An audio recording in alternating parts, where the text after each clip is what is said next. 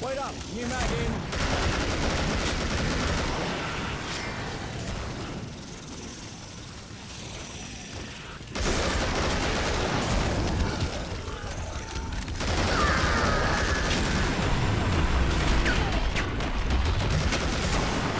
I'm dying! Do something!